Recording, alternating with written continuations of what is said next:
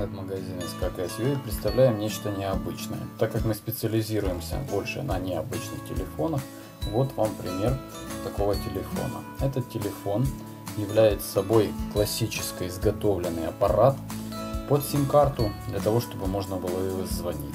Ему может он быть применим. Он применим может быть в разных отелях, например, в антикварных э, магазинах и тому подобное.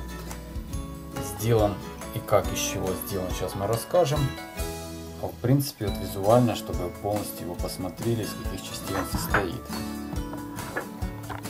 Давайте посмотрим. Комплектацию данного телефона, в принципе, не входит ничего, кроме самого телефона, его комплекте. Но мы как доукомплектовываем обязательно даем кабелечек, даем зарядку, он работает, и также дополнительную батарейку. Он может работать как от самой зарядки, так и от батарейки при необходимости. Также нужна будет отвертка.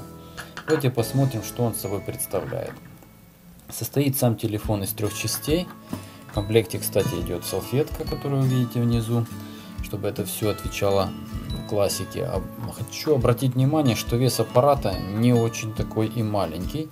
Вес его порядка 3 килограмм вместе с трубкой. То есть имеет достаточно серьезный вес, значит используется металл. Вот вопрос, какого качества металла, это уже отдельно. Сверху находится у нас болт, сейчас я его откручу. Здесь мы можем открутить. Это фиксируется держатель нажимающий. Это металлическая часть. Вот здесь есть. И она идет с болтиком.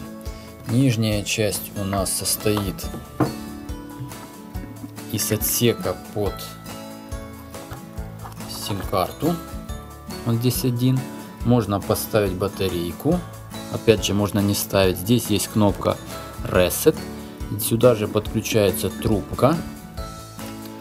И также здесь у нас э, подключается микро USB кабель и есть дополнительный микрофон для громкой связи. Именно здесь его разместили. Сам аппарат находится на подставке, что позволяет легко проводить кабеля. Стучать по нему можно, но похоже, что это гипс. Гипс, на который сделаны различные элементы с металла и пластика. Поставим сразу сюда батарейку и попробуем его включить по меню. К сожалению, русификации данного аппарата нет. Кнопка включения.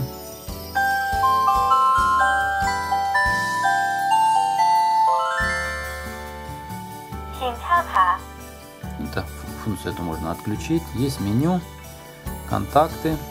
Можно выбирать, создавать контакты. Можно листать, мессенджер, звонки. В настройках у нас есть, сейчас посмотрим, вдруг есть русское меню, интересно. Фон сеттинг, language. Нету только, к сожалению, английское и китайское.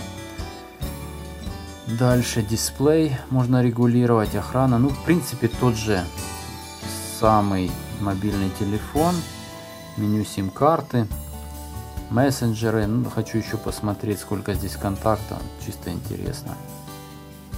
Давайте посмотрим. Memory статус. 300 контактов своих.